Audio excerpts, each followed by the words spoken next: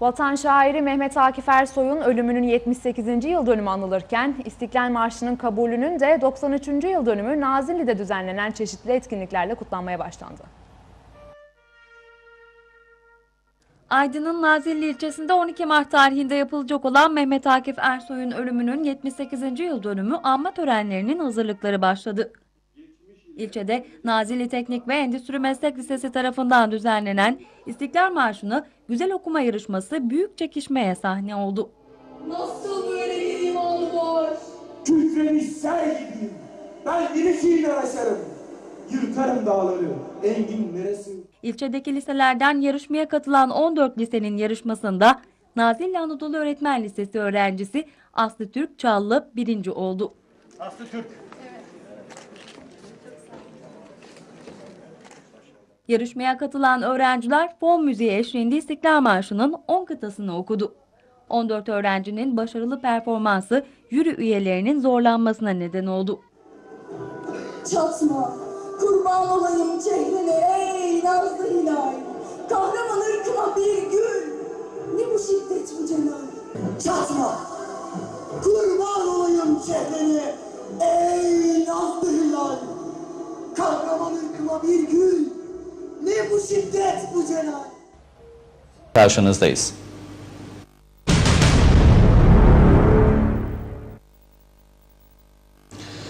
Şair Mehmet Aksoy ölümünün 28. yıl dönümünden İstiklal Marşı'nın kabulünün de 93. yıl dönümü Nazilli'de düzenlenen çeşitli etkinliklerle kutlanıyor. Çelik sıkı duvar. Benim İstiklal Marşı'nın kabulünün 93. yıl dönümünde çeşitli etkinlikler yapılıyor. 12 Mart tarihinde yapılacak olan anma törenlerine hazırlanan Nazilli'de Nazilli Teknik ve Endüstri Meslek Lisesi tarafından Nazilli Belediyesi Mehmet Yüzü Güder Kültür Merkezi Tiyatro Salonu'nda düzenlenen İstiklal Marşı'nı güzel okuma yarışması büyük çekişmeye sahne oldu. Sayılmaz dökülen kanlarımız sonuna her an. Hakkı, hakka tapan, নয়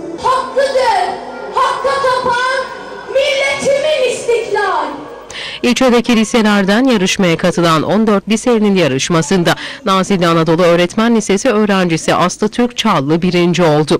İlçe Milli Eğitim Müdürü Faruk Ercan, Şube Müdürü Sezai Selçuk, ilçedeki okulların müdürleri ve çok sayıda öğretmenin katıldığı yarışmada açılış konuşmasını Nazilli Teknik ve Endüstri Meslek Lisesi Müdürü Abdülkadir Ceyhan yaptı. Ceyhan, milletlerin hayatında geleceklerine yön veren önemli olaylar ve abidevi şahsiyetler vardır. Genç nesillerin iyi yetişmesi, geleceğe güvenle bakabilmeleri ve milli şuuru ayakta tutabilmek için bunları hatırlamak gerekir.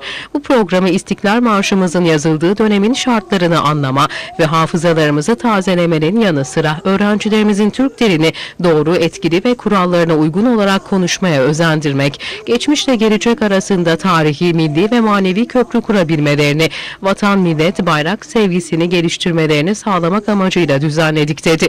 Değerlendirme sonunda dereceye giren öğrencilerin puanlarının birbirine çok yakın olduğu açıklanırken yarışmada tüm katılımcı öğrencilere sertifika verildi. Yarışmada birinciliği Nazilli Anadolu Öğretmen Lisesi öğrencisi Aslı Türk Çallı kazandı.